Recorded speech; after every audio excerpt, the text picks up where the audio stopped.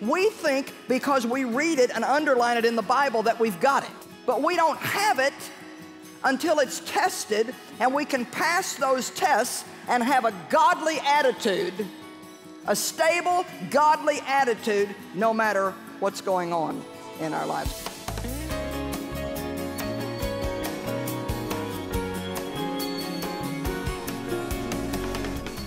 Now, see, I know that the Israelites had heart problems. they had stinky stuff in their heart. They had proud hearts. They had presumptuous hearts. They had impatient hearts. They got easily discouraged. They couldn't take very much. And so they had to make these trips around and around and around the wilderness while God was trying to work the bad attitude out of them.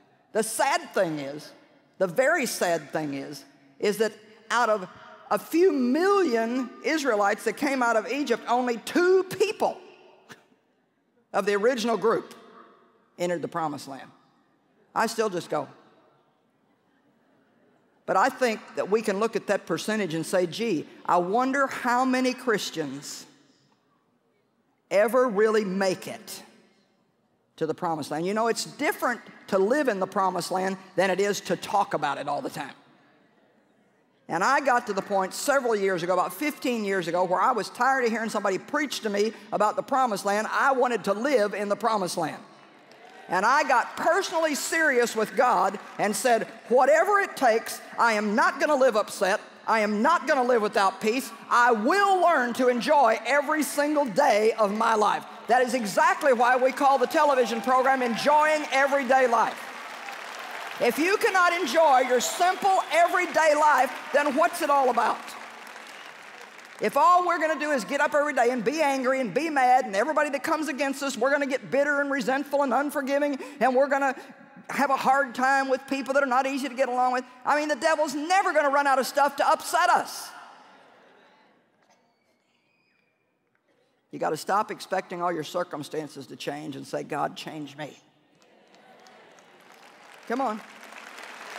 This is a transition point for the believer. This is a turning point for the believer when we realize that God is actually using those circumstances that we want to change to change us.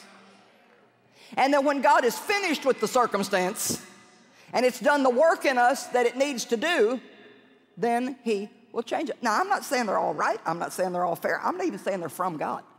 But I am saying that God will use them. That's how He gets good out of evil.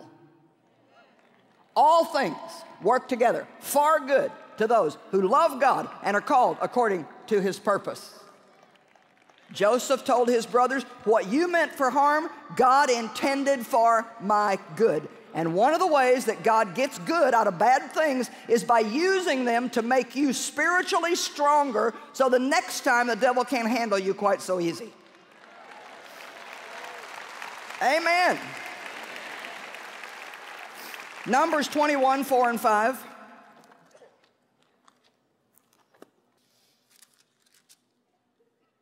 And they, they being the Israelites, when they were out in the wilderness, journeyed from Mount Hor by way to the Red Sea to go around the land of Edom. And the people became impatient, depressed, much discouraged because of their trials. And the people spoke against God and against Moses. Here comes the blame game, the murmuring, the grumbling, the complaining. Why have you brought us out of Egypt just so we can die in the wilderness? We have no bread, we don't have any water, and we hate this manna, this miracle of manna. We hate the fact that you are raining down our food out of the sky every day. We just hate that, God. We're tired of that. They had a heart problem. Amen? Amen? They were greedy, grumpy, grouchy, impatient, never satisfied, no matter what God did. And when a person is like that, they cannot do anything but wander around and around and around in the wilderness until they finally say, you know what? This is a test, and I'm going to pass it. Come on. Amen. Now, James 1, verse 2. James 1, verse 2 Consider it wholly joyful, my brethren, whenever you are enveloped in or encounter trials of any sort, or you fall into various temptations. There's not too many people there yet. Be assured and understand that the trial and the proving of your faith bring out, everybody say, bring out, bring out. Endurance and steadfastness and patience. Well, eventually it does. but it takes a while. And when you're born again, when you receive Christ, all the fruit of the Spirit is planted in your spirit as seed. And God wants to water that seed with His Word, and then those things to grow up like giant fruit trees and be seen in your life.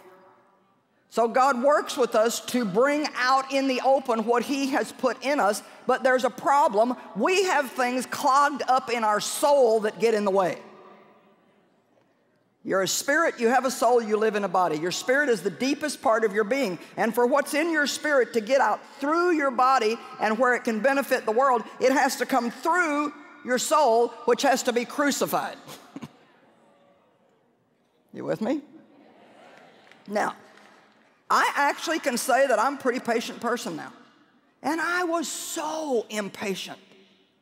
And so I would get trials and I'd read this be wholly, joyful thing. And I hated them. It's like, who in their right mind could be happy when they get a trial? Because I didn't understand what they did for me. I didn't understand that those trials were bringing junk out of me that I needed to see because I thought more highly of myself than I should have. You see, we think because we read it and underline it in the Bible that we've got it but we don't have it until it's tested and we can pass those tests and have a godly attitude, a stable, godly attitude, no matter what's going on in our lives. We need to hear this message once a week for about 25 years. And I'll just tell you now. In a way, I almost feel sorry for you because I know that being in here now, you are going to get a test.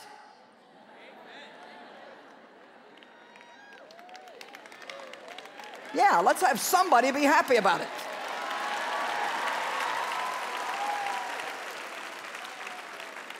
See, that don't bother Dave because he already knows he'll pass the test. When I said that, that doesn't bother anybody that understands this and already knows that you've got practice at staying stable while you watch the devil wear himself out. Amen? That's why I've adopted my new phrase I'm still here. I'm still here. And next year, I'll still be here. And the year after that, I'll still be here. Because I have made my mind up that greater is He that's in me. And I know the devil's gonna come against me. I know he hates me. I know he hates what I'm doing but I also know that He's not more powerful than my God.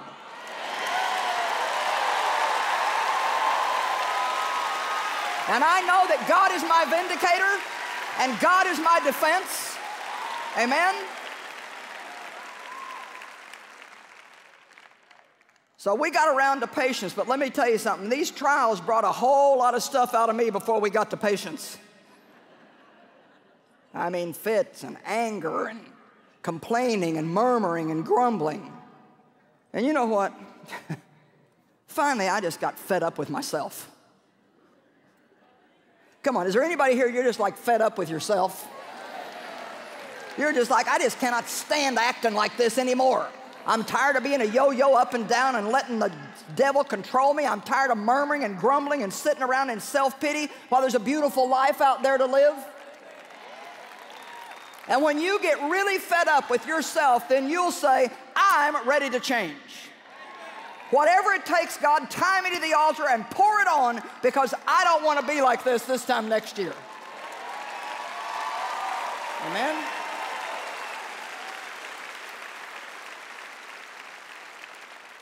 James 1 12 through 14. Blessed, happy to be envied is the man who is patient under trial and stands up under temptation, for when he has stood the test and been approved, he will receive the victor's crown of life which God has promised to those who love him. Let me tell you something. On the other side of tests, there is promotion.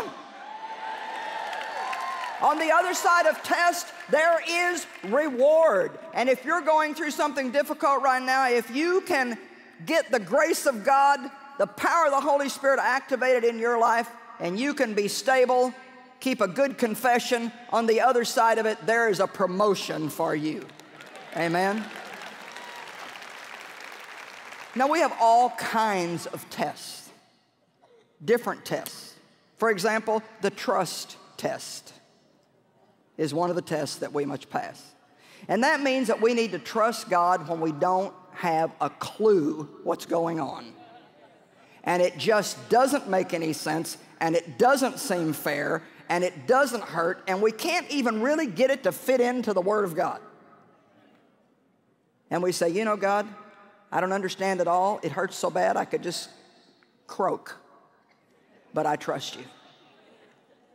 I trust you. Every time you're tempted to complain, instead, just say out loud, nice and loud, God, I trust you. I trust you. It's like a sword going right into the devil when you do that because he wants you to sit around somewhere and say, I just don't understand. This just doesn't seem right. I just can't figure this out. I don't understand. Call up all your friends. Can you figure this out? I don't understand. You're wasting your time. They don't even know what they're doing, let alone what you're doing. Don't run to the phone, run to the throne.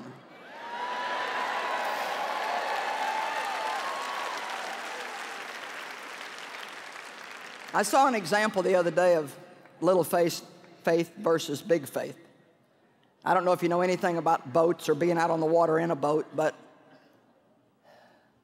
the smaller the boat, the more the waves affect you. And if you're in a small boat and it's a busy day on the lake, it's just really an unpleasant ride because the boat is just, you just feel like you've been beat to death by the time you get back. And but if you, get a, if you have a bigger boat, the bigger the boat, the less you feel those waves. And God was just speaking to my heart. The bigger your faith is, the less you feel the waves of life. And I will tell you the honest truth because I've grown over the years, and it's not that I don't have a long way to go because I do. But thank God I'm growing. And I'm celebrating my progress. I'm not mourning over how far I have to go. I'm celebrating my progress. And you need to do that because if you'll celebrate your progress, it will give you the strength to get to the next level. And my faith has grown over the years and it's still growing. And there are so many things that used to just upset me and aggravate me and get me fearful and worried that I'm just like, I ain't trying to figure that out. David said he did not get into things that were too wonderful for him. Let me tell you something. If we could figure everything out, we wouldn't need God. He knows what we don't know, and we need to be satisfied to know the one who knows even when we don't know what he's doing. Everybody say, I trust you. I, trust you. I need a bigger boat. Why do you think that God gave the Israelites manna one day at a time? Why didn't He give them a month's worth at a time? Why not a week's worth at a time? There's a wonderful message there that that's the way God deals with His people. He gives us grace and provision one day at a time. And He wants us to enjoy what He gives us today and not worry about where tomorrow's provision is coming from. Amen? So many different kinds of tests. What about the Judas kiss test? Say, huh? Have you ever been betrayed by somebody that you loved and trusted? You know, I actually believe that this is one of the tests that most of us will have to go through at some time in life. And I believe, especially people that are going to be leaders in the body of Christ, you can just be pretty much assured that at some point you're going to have somebody that you really loved and trusted just shock you. Somebody that you trust is going to tell your secrets that you thought they wouldn't tell. Somebody that you thought would never talk about you behind your back is going to judge you and criticize you. And I'm not trying to be negative. I'm trying to tell you that there are some things that Jesus bore for us, but there were some things that He went through to show us how to go through them. Are you out there? For example, Jesus was rejected. Well, I went through a lot of rejection. When I answered the call of God on my life, I lost my friends, and many of our family members turned against us. I mean, everybody thought that I was the town nut. I mean, really, in, in the circles that we were in, women didn't do this. They just didn't do this. And I mean, I was looked at like the renegade nut. And people just didn't want anything to do with me. And the, the pain of rejection, I was rejected by my dad. The pain of rejection is horrible. That's a horrible pain. But Satan uses that against people to keep them from going forward. And I can, I can look back at my life and I can see every time God was going to promote me to the next level of my ministry. And you know, you never start where you're going to end up. I taught a home Bible study for five years. then I went to work at a church and I got a little promotion. Then after a while, I was made one of the pastors there, and that was another promotion. Then after a while longer, God put me in my own ministry, and I felt like I'd had a demotion for a long time. Sometimes you got to go down before you go up again. And then God let me go on television. And then He let me go on daily television. But at each one of those levels, I experienced a major attack of rejection from the people in my life, not my family, but people in my life that I loved and wanted their acceptance and approval. And I had to learn, and you will have to learn, that although we would like for people to applaud for us and be for us, we can live without it. Amen? And not only that, the Bible says that the cornerstone, which the builders rejected, and is talking about Jesus, has now become the chief cornerstone. They rejected Jesus, and now he is seated at the right hand of God, ruling over heaven and earth. And you may be rejected, but God can make you the chief cornerstone if you keep your eyes on him. He told the disciples when, when they went out to preach, he said, if you go into a town and they reject you, here's what he said to do shake the dust off your feet and go on to the next town. So we need to learn a whole lot more of this. Amen? You're going to have to pass those tests. You're going to have to get to the point where when somebody judges you and criticizes you and rejects you and you don't get invited to the party and you don't get invited to lunch and you're the one at work that even though you're trying to do what's right for God, everybody treats you like you've got the plague. You need to say, That's okay, God. I've got you. And I know my day will come. If I remain stable and don't compromise to have something this world has to offer, my day will come. Shake it off and go on. The Judas kiss test. I think it's the hardest. Why do I call it the Judas kiss test? Because Jesus passed this test. If you read the scriptures surrounding the way that Judas behaved, you just want to strangle him. He betrayed Jesus with a kiss, of all things. When they sat at the Last Supper and Jesus said, Someone is going to betray you, Judas said, Well, surely, Lord, it is not I. You phony. you lying phony. He had already made a deal with the Pharisees to sell Jesus out. He was greedy. But you know what? Jesus passed the test. You know how I know he did? Because he went ahead and did the will of God. He went ahead with God's plan. He finished his race. He went to the cross. And because he didn't let rejection stop him, he didn't let misunderstanding stop him, He didn't let the Judas kiss stop him. We are here today. And if you don't let the devil stop you, there will be somebody praising God in the future because of your witness and your testimony. Amen?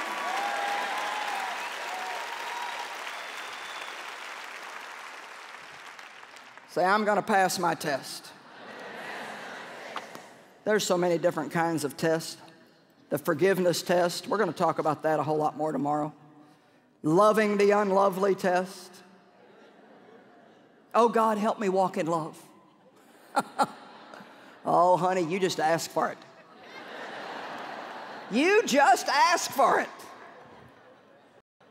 My daughter called me one day three or four years ago and she'd been having trouble with a certain person. I mean, this person was just about to drive her up the wall. And she said, I have been so mad and so upset and just thinking about getting this person out of my life and I'm not going to put up with you anymore and blah, blah, blah, blah, blah, blah. And she said, Then God reminded me that I had prayed that I could love everybody.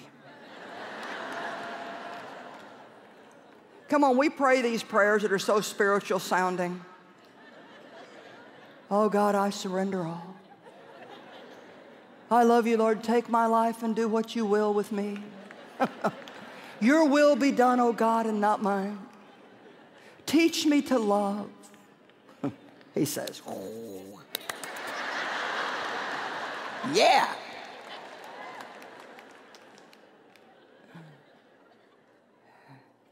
We all have people in our life that we would like to strangle.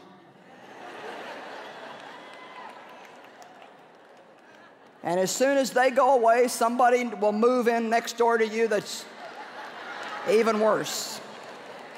Amen? The time test is another test. Gosh, it takes God so long to do some things. Why, God, why? When, God, when? You don't even have to get off the throne to do this. Just look in my direction. One little teeny tiny miracle. I mean, come on, God. Why are you making me go through this? it's a test. it's a test, a test, a test, a test because we love to quote it Oh God, my times are in your hands. Come on. Oh, yes, God. my times are in your hands. Psalm 31, 14, and 15. oh, man, the discouragement test, frustration test, the self will test, the wilderness test, the loneliness test, the test, the test, the test, the test, the test. But as I said earlier, there's one thing that's important to you, and I want you to remember this. You may get tested trying to get out of the parking lot tonight. Somebody that's got their car plastered with bumper stickers may try to run all over you. and you can't say, What about the mouth walk? Amen? It's possible that you could go out to the resource table and trying to buy yourself a book or some CDs, and somebody could just almost knock you down trying to get theirs.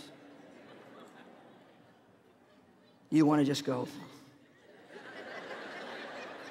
But instead, you can say, It's a test.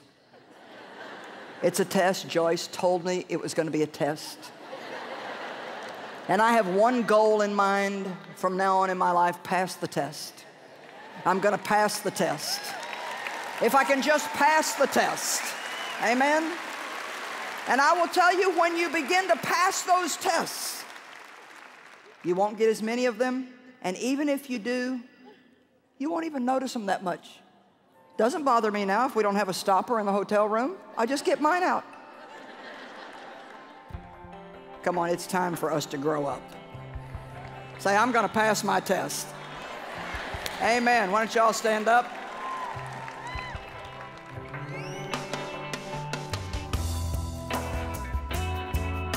We you know, every trial and test that God allows us to go through will work out for our good, especially if we keep the right attitude. And it's intended to increase our faith in Him. God uses these things to refine us. How we behave in these times of pressure is really the most important thing. And it's the true test as to whether or not we pass or not. So no matter what the trial is, you can say, Yet I will rejoice. You may not feel like it, but you can do it in faith, believing that no matter what it is, it will work out for your good. And you know, whatever you might be going through right now today, I want you to believe that. Whatever it is that you're facing, if you keep a good attitude, you keep your faith in God, it will work out for good.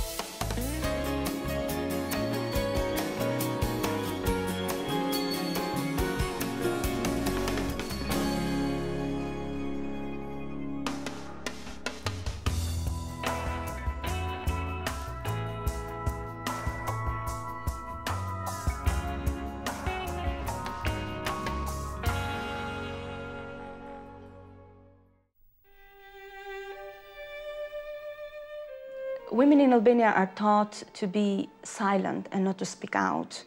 This is something that has come from long past ago, and although many organizations uh, do advocate and do encourage women to bring it out and to um, tell the truth, it's something that has to do with the culture. If something happens to you, it's a shame factor.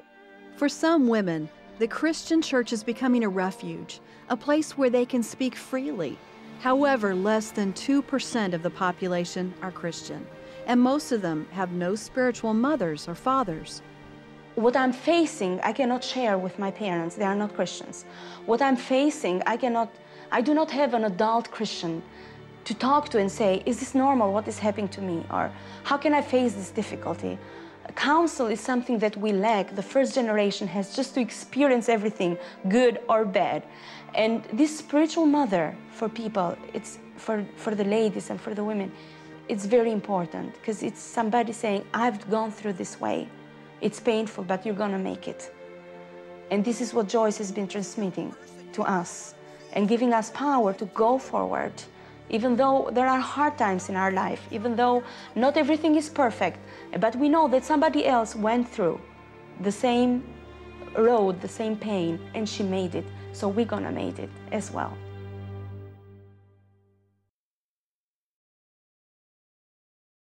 Ik heb gelijk. Die ander heeft het fout. Eén woord te veel en je hebt een knallende ruzie. En niemand heeft het gewild. Het kan ook anders. En ontdek nu hoe. Nu verkrijgbaar van Joyce Meyer. Leven zonder conflicten. Bestel nu het boek Leven zonder conflicten via onze website joyce-meyer.nl of bel 026 20 22 100. Alle boeken van Joyce Meyer staan overzichtelijk op een rijtje in een brochure. Geef nieuwe impulsen aan je dagelijks leven en bestel deze gratis brochure nu telefonisch op nummer 026 20 22 100.